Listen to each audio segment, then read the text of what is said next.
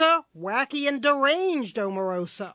But when Sarah Sanders was asked about his attacks on Omarosa, she did everything to avoid saying her name. Uh, that this individual, with the fact that this person, like the author of this book, her favorite formulation for evading the O word, this individual, the lack of integrity that this individual has shown. But I guess this individual beats being called low life. She's a low life. Sarah Sanders finally broke down and said it one time. Respect to Omarosa.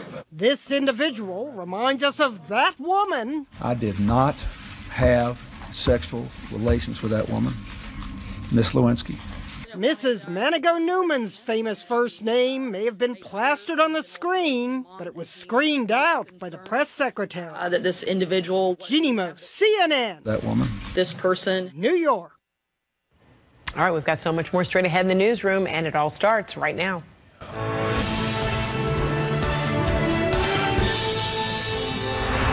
Hello again, everyone, and thank you so much for joining me. I'm Frederica Whitfield. We continue this hour with fresh attacks today by President Trump against the nation's former CIA Director John Brennan, tweeting this morning.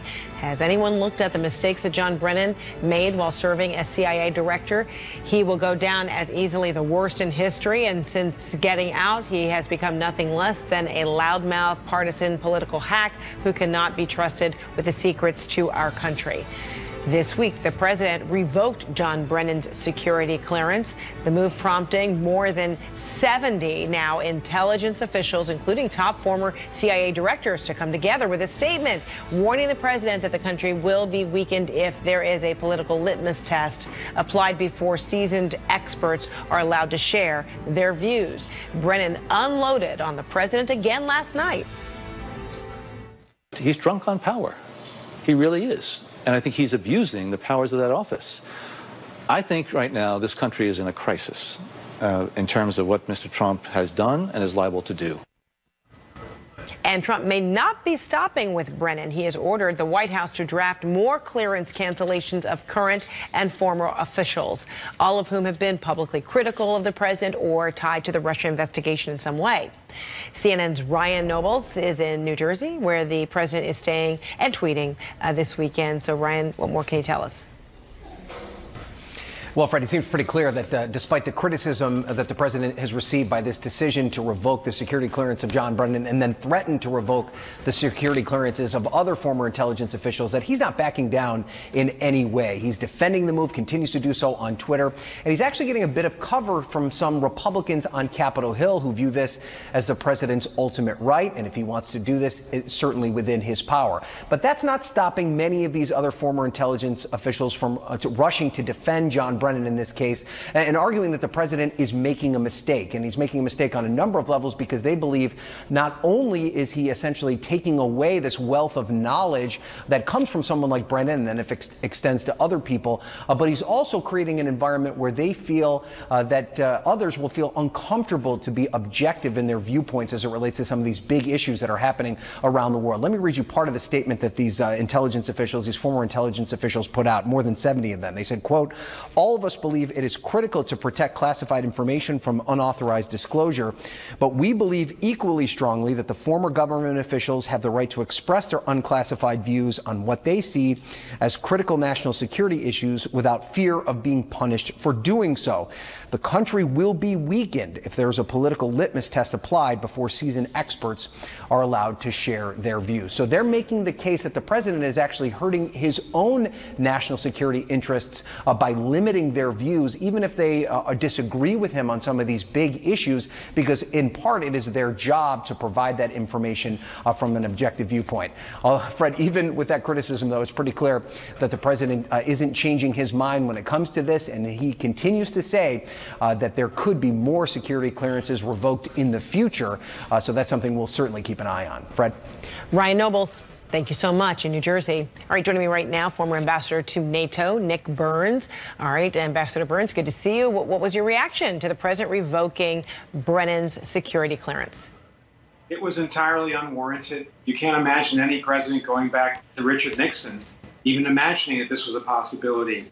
You know, we have a free society. People have rights to speak up, especially distinguished former officials like John Brennan, the former CIA director. For the president to try to intimidate officials and then to read in the Washington Post this morning that they're just about to take away the security clearances of seven or eight other officials, and they'll do that periodically over the next few months, it seems anti democratic. It seems very authoritarian.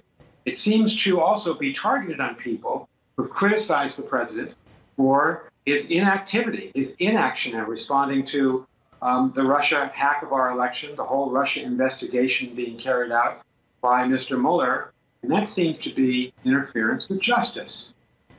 So the president's response to the criticism of his, you know, removing of clearance, he says, you know, I'm not silencing anybody. If anything, I've I've given now the security clearances of seven or eight other officials, and they'll do that periodically over the next few months. It seems anti-democratic. It seems very authoritarian. It seems to also be targeted on people who've criticized the president for his inactivity, his inaction in responding to um, the Russia hack of our election, the whole Russia investigation being carried out by Mr. Mueller, and that seems to be interference with justice. So the president's response to the criticism of his, you know, removing of clearance, he says, you know, I'm not silencing anybody. If anything, I've I've given now John Brennan a bigger voice, more freedom to speak. What do you think about That's his explanation? That's not the point. The point is intimidation.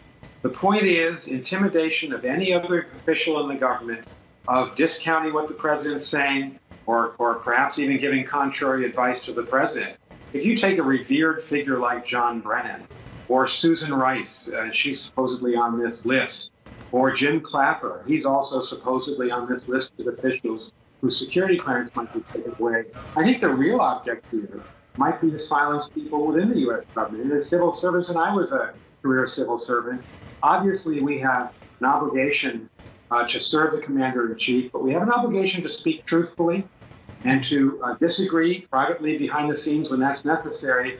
It doesn't look like this president can countenance any contrary view. And that's, uh, that is deeply disturbing, and it's a very unwise way to lead. So, uh, with something like 70 now. Uh, you know, Intel officials, uh, many former, you know, CIA directors signing on to this agreement saying, you know, hey, if you're going to revoke clearances, revoke ours too. But then what about those who are actively you know, working at CIA, FBI, et cetera. Is it your concern that this will, this threat that the president and the White House has, will effectively intimidate and just might change the way in which they do their jobs? They may be a some officials might be more reticent about how they file reports, what they say uh, as it pertains to investigations, because they're afraid that their clearances will be pulled, because the president is effectively doing that. I think that is the larger concern here. Nobody uh, argues with the fact that the president, as commander in chief, leads the government.